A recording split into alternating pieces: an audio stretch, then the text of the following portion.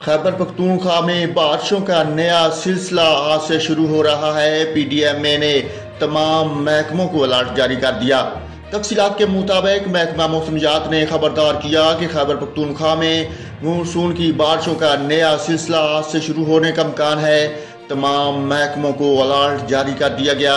तेज हवाओं और बारिश के पेश नज़र मुख्तलिफ़ इलाकों में लैंड स्लाइडिंग हो सकती है। पीडीएमए ने सूबे की तमाम ज़िले इंतजामिया और मुतल इदारों को अलर्ट रहने के लिए मरासला जारी कर दिया। मरासले में कहा गया कि तेज हवाओं और बारिशों के पेश नज़र सूबे के सास इलाकों में लैंड स्लाइडिंग और नदी नालों में तुगानी का खदशा है। महकमा मौसमियात ने कहा कि बारिशों का सिलसिला अट्ठाईस जुलाई तक जारी रहने का अमकान है।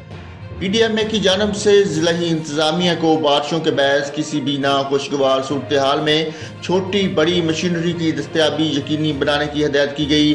तर्जमान पी डी एम ए ने खबरदार किया कि सियाह दौरान सफ़र खसूसी एहतियाती तदाबीर इख्तियार करें और मौसमी सूरत हाल से बाखबर रहें। पी डी एम ए का एमरजेंसी ऑपरेशन सेंटर मुकम्मल ख्याल है। आवाम किसी भी नाखुशगवार वाक़े की इतला सत्रह सौ पर दें। ताज़ा तरीन वीडियोज़ के लिए चैनल को सब्सक्राइब करके बेल आइकन और आल नोटिफिकेशन पर क्लिक करें ताकि आपको मिले हर खबर सबसे पहले।